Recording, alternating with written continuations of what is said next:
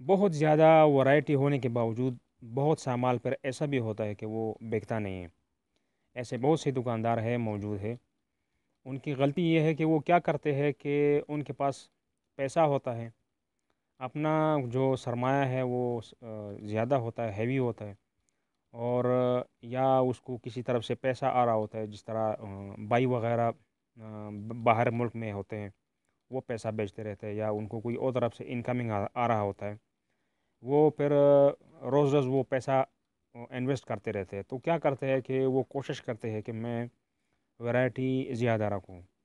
अब वो क्राकरी का काम करते हैं कपड़े का काम करते हैं हौजरी गारमेंट्स का काम करते हैं हमारी तरह या कोई और और फ़ील्ड में है। लेकिन वो ये कोशिश करता है कि मैं हर चीज़ ही रखूँ और कोई भी गाहक आए और ख़ाली ना जाए जो पूछे और मैं उसको बेच दो। तो वो ये है कि फिर उसके पास फिर माल बहुत सा बचता रहता है, बच जाता है। और फिर वो साल, दो साल, तीन साल बाद वो ऐसा लायक नहीं रहता कि कोई ले सके। या ख़राब हुआ होता है या टाइम आउट हुआ होता है, क्योंकि नेक्स्ट ईयर जो और माल आ जाता है, वो लेटेस्ट होता है तो जो पुराना माल है, वो कोई पसंद नहीं करता। तो फिर वो उनके लिए ख़सारा होता है, वो यानी या घर के इस्तेमाल के लिए घर बेच देते हैं या कोई कूड़ी के माल पर बेच देते हैं रेट पे। तो उससे बचने का तरीका ये है कि देखें, आपका जो अपना दुकान है, उसके हिसाब से आप देखें कि आपका दुकान कितना है। तो उस दुकान में, उस दुकान में आप अगर कोई चीज़ आपने रखा हुआ है कि वो बंद शापर में पड़ा हुआ है या आपने कोई चीज़ ऐसा रखा हुआ कि आप कहते हैं कि यार ये पहला वाला बिक जाए तो फिर उसको निकाल के रखेंगे। या आपने जो है ना, एक रंग पड़ा हुआ है, बाकी रंग पड़े बाकी दिखा नहीं रहे या एक डिज़ाइन पड़ा हुआ है, बाकी डिज़ाइन आप दिखा नहीं रहे, कोई भी चीज़ हो तो वो आपका इसी तरह बन एक साइड पे पड़ा रहता है।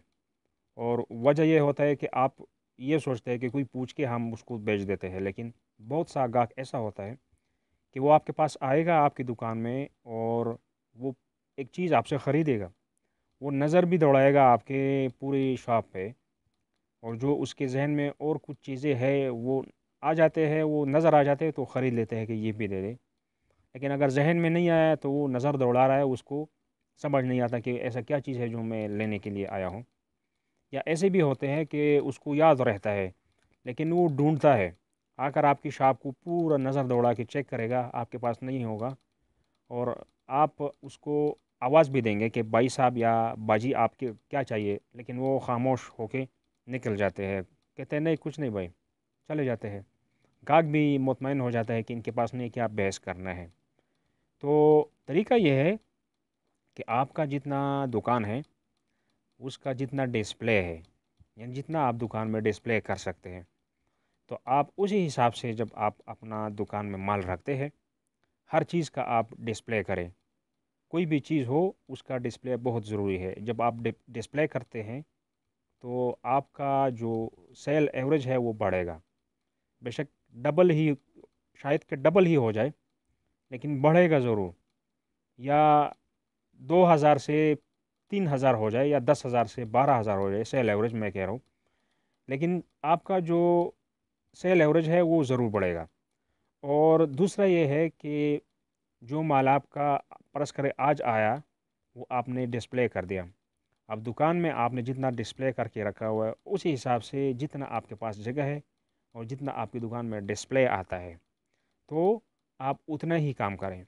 और दूसरा ये है कि ज़्यादा वैरायटी रखने का तरीका ये भी है, वो ये है कि अगर आप कोई चीज़ मिसाल ले ले, आप एक दर्जन ले लेते हैं या आप एक सीट ले लेते हैं, उस एक सीट में दस पीस है या पाँच पीस है।